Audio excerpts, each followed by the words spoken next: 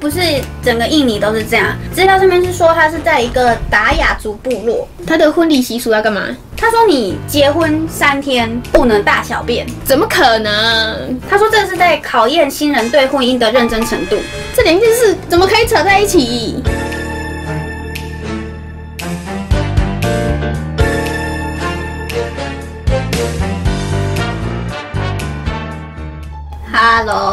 大家好，你很白痴，赶快哦！今天要讲全球十个奇葩婚礼习俗，看完觉得国人真幸福。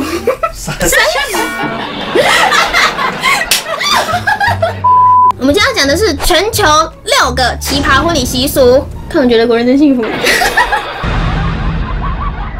好，那第一个是印度，为什么是印度？因为在印度这个叫做比哈尔邦的地方，如果你是未婚的年轻男子，那么你在晚上如果一个人出门的话，很可能就会被绑架。这个跟结婚有什么关系？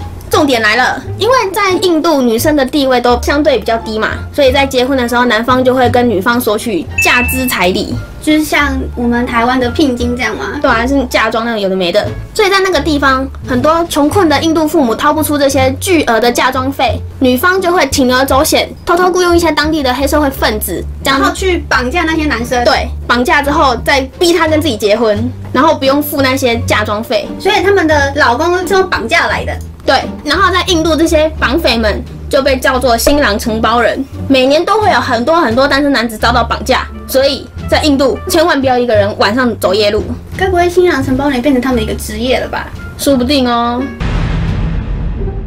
在第二个要讲的是苏格兰。苏格兰苏格兰他们在结婚之前，新娘会被整，为什么？干嘛整？整什么？他们会被可能坏掉的牛奶啊，或是死鱼，或是一些烂掉的食物，甚至是地上的掉麻嘎、羽毛，有的没的，它全部都勾在你身上。为什么？新娘不就是要漂漂亮亮的，干嘛这样搞她、啊？他们说这是因为要让新娘体验一下婚后的痛苦生活，很小啦，说什么在以后的婚姻生活中就没有什么是你不能忍的了，这两件事一样啊。可能这就是他们的习俗。还有一个名称叫做涂黑仪式，它还被当做是一个仪式哦。而且更加奇怪的是，之后就是涂黑之后，你还会被绑在树上，然后逼你喝一个晚上的酒。那、这又是为什么？不知道，那这样子新娘要怎么结婚？对啊，他说在结婚前要做这些事情，之后还要被绑在树上、哎，好可怜哦。现在苏格兰的女生会不会不想结婚啊？所以说不定他们的结婚率很低，超低那一种。再来第三个，我们要说的是法国。法国这个国家听起来应该就是结婚浪漫会很浪漫。对，他们在结婚之前，不过这是古代，现在应该没有了。新郎跟新娘要喝从马桶里捞出来的水，那、这又是为什么？为什么要这样？因为他们相信这样做可以在新婚之夜给予新郎跟新娘力量。但是是什么力量，这就不知道了。傻小，从马桶里面得到力量，对啊，这哪里来的理论啊？你说他们现在没有了？现在应该是没有了。古代的婚礼好像会这样做，现在这个习俗已经从喝马桶里的水变成从厕所端出来香槟跟巧克力来代替了。这样好多了。所以会不会香水在法国那么流行，跟这个习俗有关啊？喝完马桶水之后，然后马上喷一下。对啊，这样子才不会在嗯嗯啊啊的时候闻到什么嗯嗯啊啊的味道。我们拿到什么东西讲清楚啊！不过香水那一集之前讲过了，各位观众如果想知道真相的话，可以在影片底下找网址来看。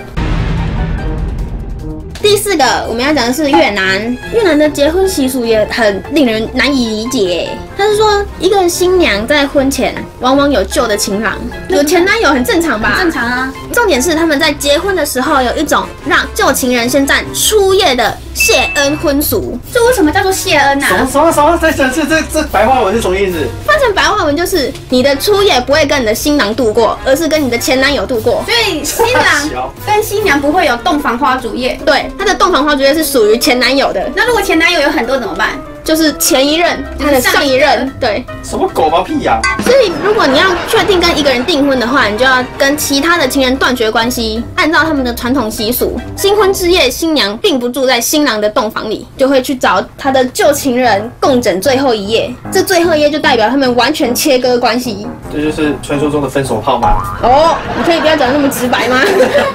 可是他有没有，就是他是一定要献给他吗？还是只是一起度过一个晚上而已。孤男寡女共处一室，你觉得会发生什么事？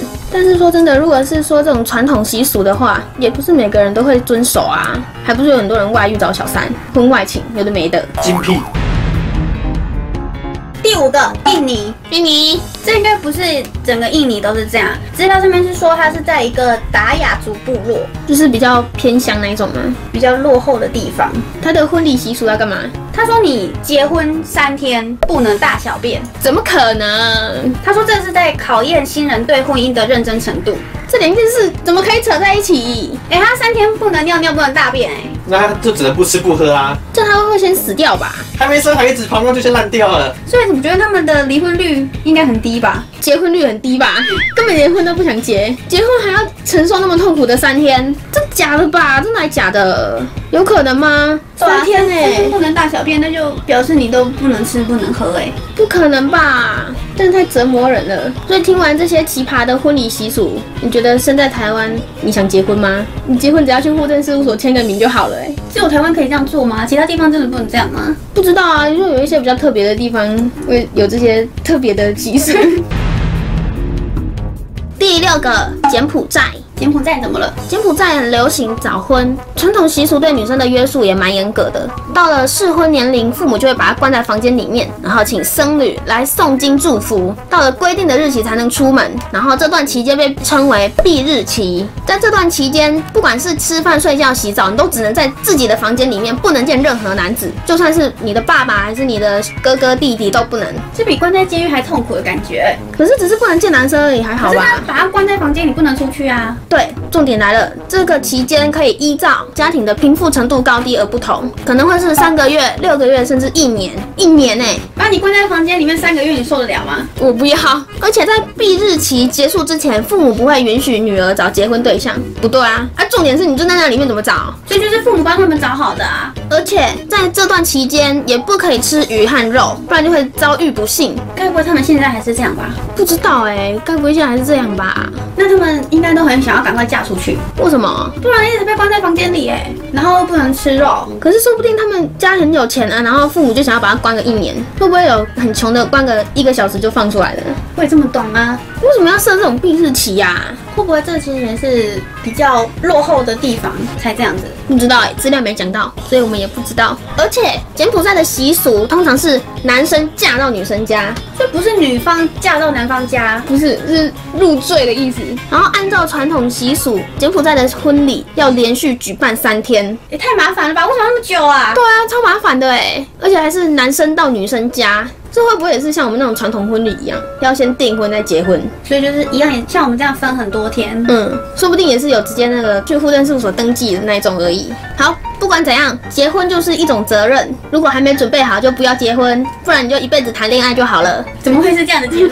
你看结婚那么麻烦，干脆不要结算了，就一辈子谈恋爱就好啦。结婚也可以很简单呐、登记结婚就好了，两三分钟搞定，那为什么一定要结婚？也没有一定要结婚啊。对嘛？你看，那就不要结婚就好了，惹出那么多麻烦的习俗来。小金却说他一辈子不结婚，让大家记好。我可以谈恋爱，但是不要结婚。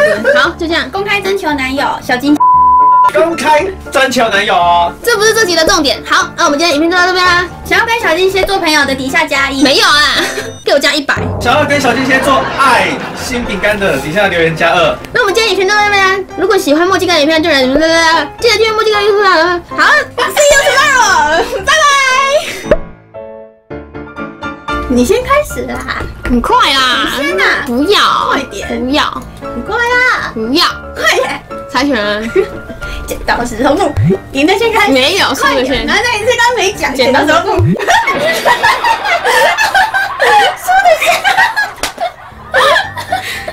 这个也不是你要先开始，要不要结婚？